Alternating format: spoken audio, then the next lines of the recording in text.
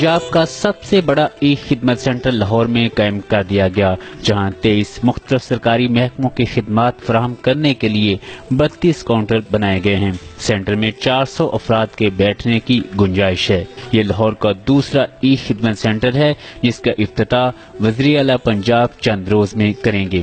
ہم یہ one window centres بنا رہے ہیں جہاں پہ تیئیس گورنمنٹ کی سروسز کو ایک جگہ پہ لایا جا رہا ہے کہ اپنے نیا کاروبار رجسٹر کرانا ہے، کوئی ٹیکس پے کرنا ہے، کوئی آپ کو این او سی چاہیے، اجازت چاہیے بلڈنگ کمپلیشن سرٹیفکیٹ چاہیے، کوئی ویئر ہاؤس کے لیے اجازت نامہ چاہیے۔ تو یہ آپ کو ایک کلک پہ مل جائیں ایک ہی دفتر میں جا کے مل جائیں